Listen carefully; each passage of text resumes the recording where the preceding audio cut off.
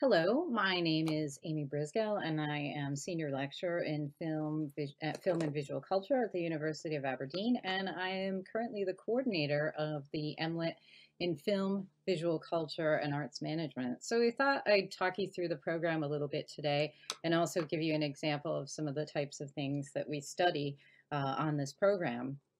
So what is an MLitt in film, visual culture, and arts management? There's a lot of different components there.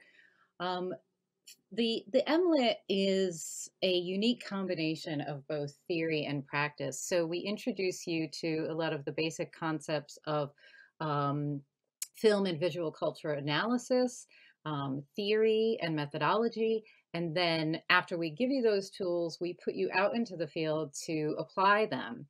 Right here on the screen, you'll see some of our students um, using one of the methods that they learned about in, uh, on the course, which is interviewing uh, living human subjects. And here they are interviewing Ian Hedge, a botanist, uh, retired botanist from the Royal Botanic Garden of Edinburgh. And this was part of one of the projects for, for the course. Um, so, so really the the program provides both a theoretical and a practical foundation. It's not just reading theory in a vacuum but it's actually going out and applying that theory to real life situations to give you the experience to either work in the field as a researcher so to go on to further postgraduate study at the phd level or to work in the industry. So you have both options when you finish the program. Why choose this program well, I think it's this unique combination of theory and practice. Um, oftentimes, you'll get a, a program that's very much a theoretical program where you're you're it's very research intensive, or you'll get something that's very practical focused. Um, and our program combines both both program both uh, approaches. Um, this is a photograph by one of our students, um, Dorota Puszkiewicz-Nowicka um, when she was out with the other two students that you see in uh, in the photograph uh, at Deveron Projects, one of our partners. They're located in Huntly, which is about an hour north of Aberdeen. And the students, the MLitt students, this past year participated in a project with Deveron. Um, they went out to the art center, learned about what they did do there, and then they ran their own event um, at at the art center. Um, so so this is another example of that sort of real life experience. Um, another advantage of this program is that it it offers you the opportunity to work in a range of different disciplines. So not only film and tv but also visual culture in general um, which is which is really a, a, a branch of art history um, and also with colleagues in music um, because our school also contains other creative disciplines such as creative writing, um, English and literary studies, translation studies, and music. And we have both traditional classic music and sonic arts, which is our more contemporary um, area. And and all, a lot of our students take these different courses. So on a on a um, film and visual culture course, we might have students from music, and they bring in, uh, you know, a different aspect to the program, different perspective, which is really, which can be really interesting. Um, so, so there's a lot of different uh, opportunities for you to create and develop new and interesting work um, while you're on this program. So practically speaking, what will you study? So in the first semester, the first half session, you'll take the research methods in film and visual culture. That's this theoretical course where we introduce you to these different approaches. Uh, but it's not just theory, it's not just research um, in the traditional sense. There are a lot of different practical methods that you can use to approach um, a, a project in film and visual culture. So we teach you about interviewing people and creating um, practice practice led research, which is researching a, a, subject or a topic and not just writing about it, but creating some visual component or some practical component, such as a film, a photo essay. Um, and so your assessment for that course will be to create a um, to, sorry to to to do um, a research project using one of those methods. So maybe you would go off and interview an artist and use the, those interviews as your primary source material for your essay, or maybe you would create a photo essay and the written component would be a contextualization of that essay. Public engagement for the arts is a really crucial course um, that is taught by individuals across the university and also outside of the university. And it introduces you to the types of things that you'll do if you if you end up working in the industry, and even if you work if you end up being an academic. Um, so it's all about how to, how to present your research, which is often very niche and very specific, to a wider audience, and how to get people to engage with that. And we'll talk about that a little bit when we talk about uh, the the Deveron Projects Art Center that we worked with this past year. So that's your first semester. Second semester is a projects course, projects in film and visual culture. Um, and that's where we'll be working with a local uh, partner organization. Um, it, two years ago, it was with the Royal Botanic Garden of Edinburgh. Last year, it was Deveron Projects. This coming year, it will also be with Deveron Projects.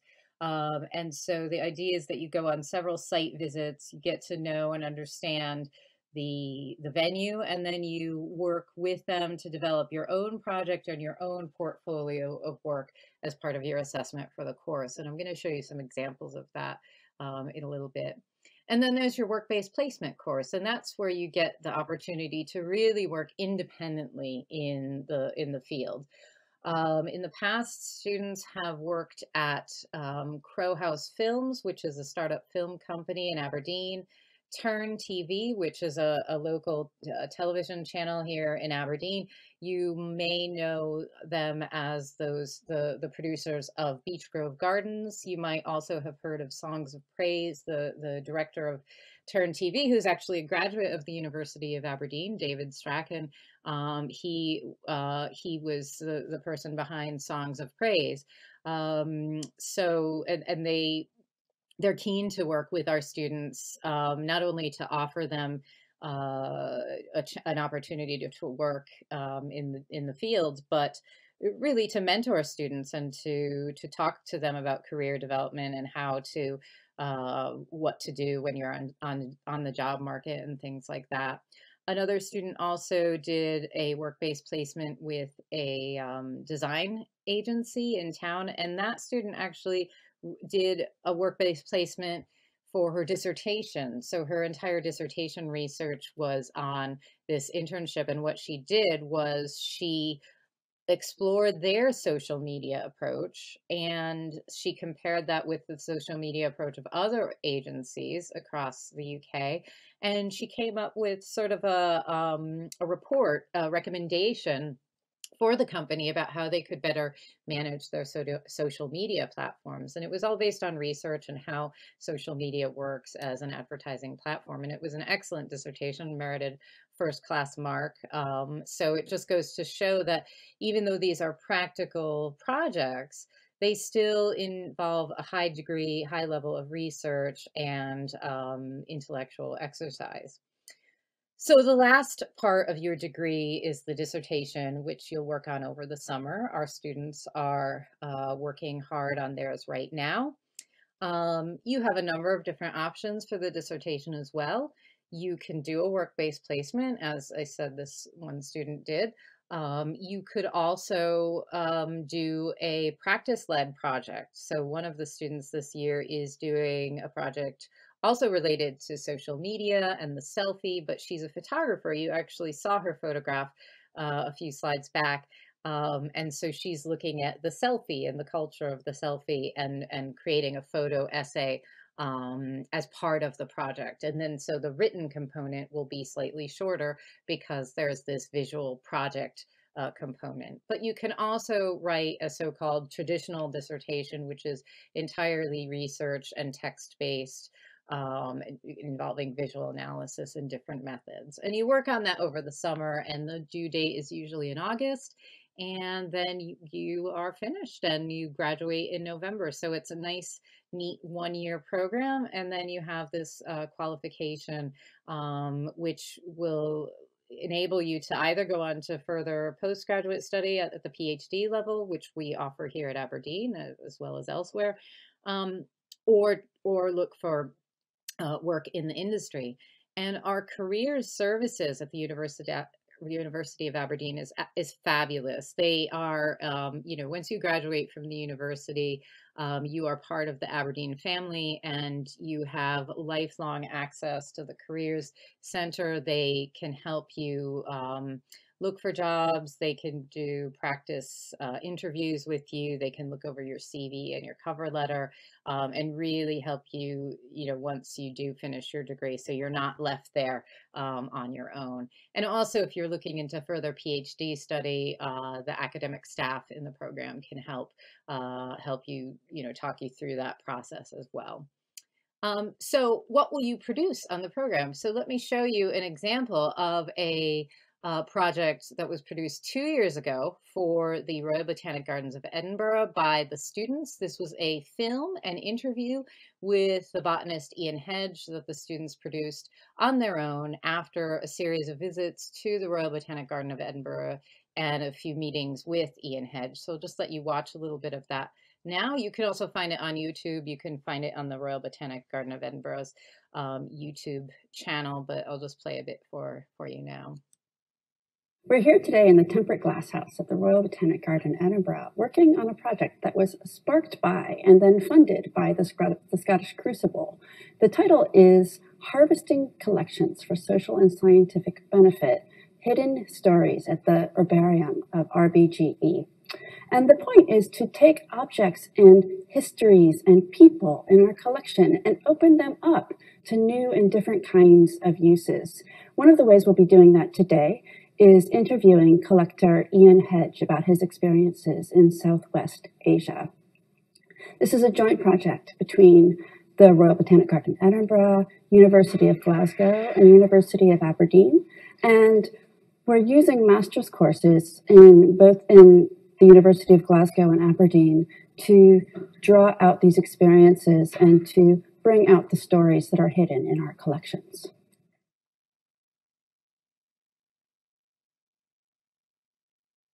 Peter Davis was a totally dedicated collector of everything. I mean, he was a major botanical collector, no question. Just before the war in 36, he traveled in Turkey, on a mountain in Turkey, and got fascinated with the flora there.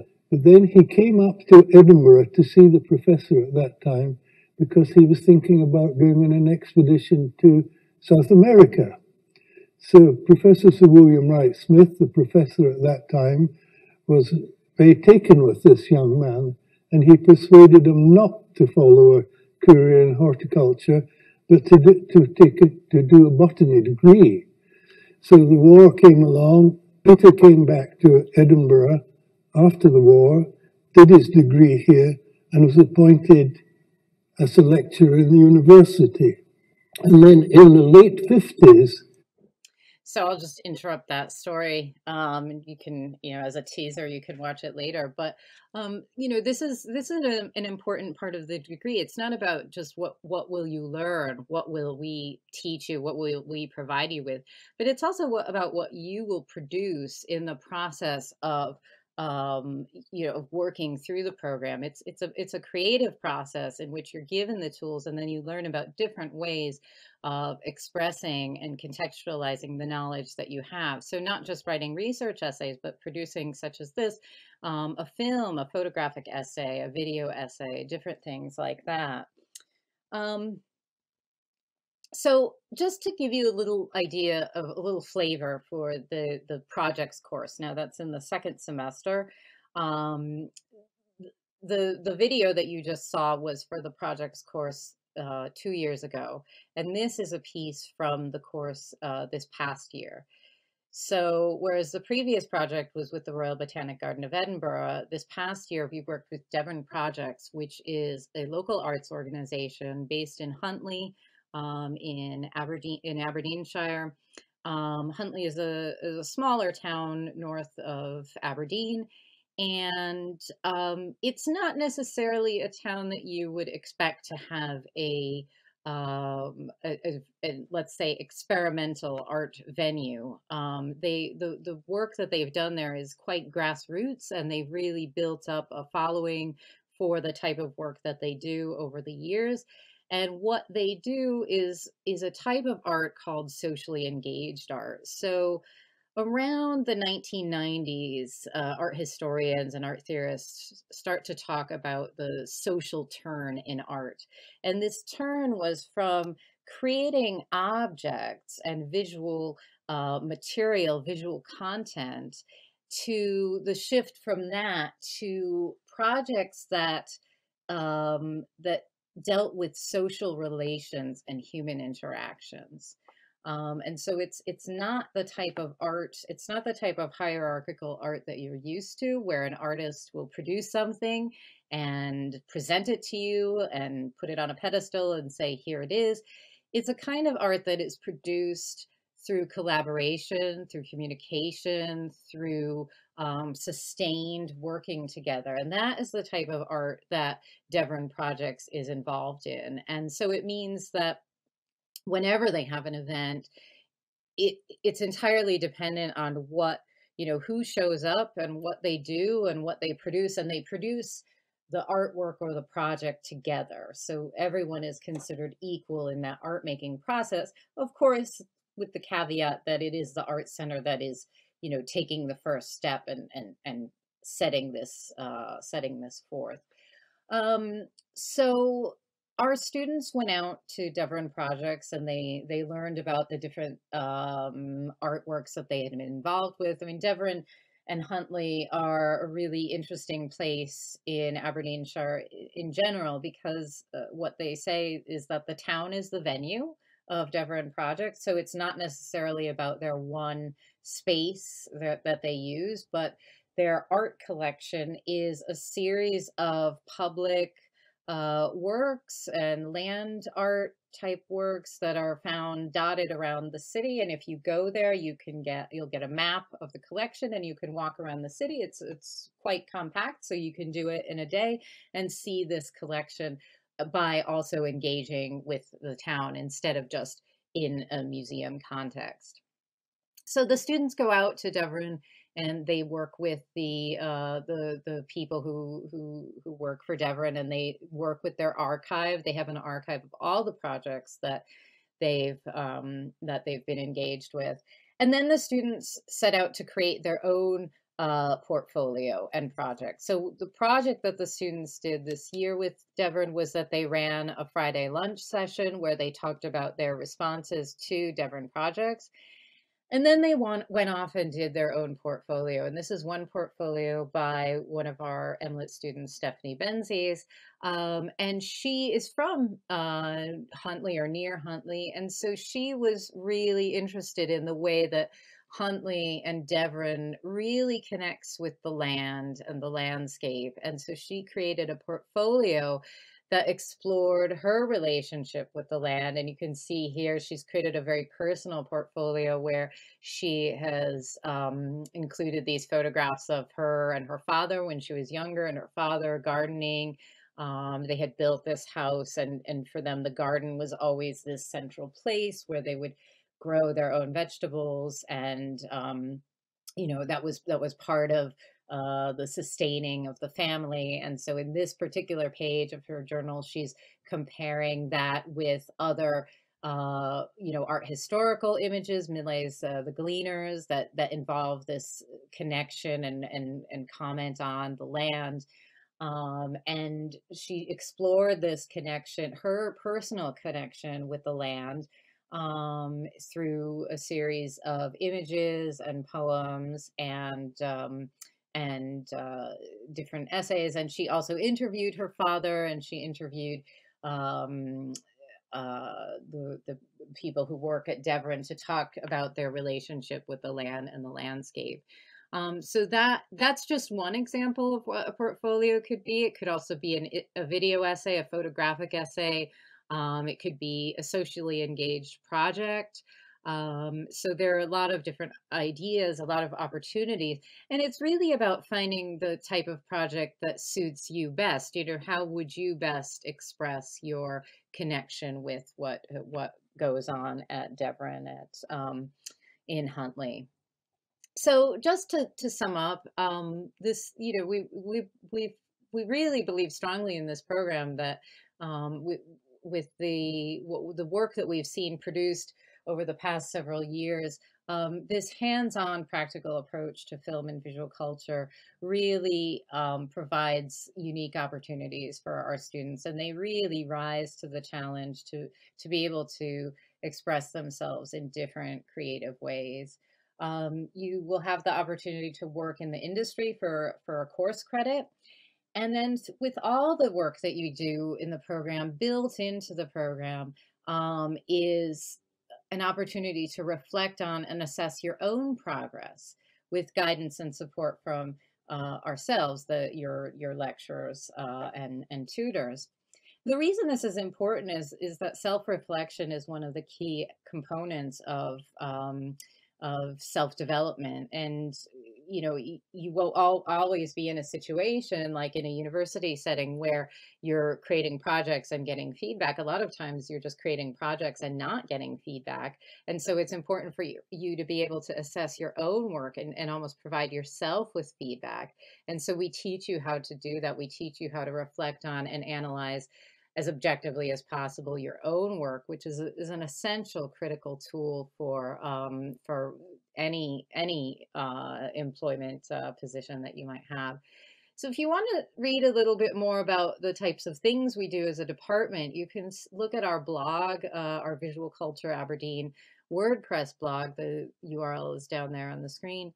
And then if you want to look into more about the program, if you go to our the university website slash study and then just select postgraduate programs and the MLitt in Film, Visual Culture, and Arts Management, you'll find us and you'll see uh, basically a summary of what I've told you here. So um, if you have any questions, you know, you can always get in touch. Um, and uh, I, I hope that this has given you a little bit of flavor for what you might expect if you study here. And I think you will really enjoy it if you do decide to come uh, here and study with us. So thank you for listening.